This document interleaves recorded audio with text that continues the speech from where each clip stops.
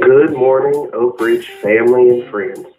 The Brother to Brother Ministry will have its virtual monthly fellowship on Saturday, April the 23rd at 9 a.m. Dr. Alton Cornegay will be our presenter.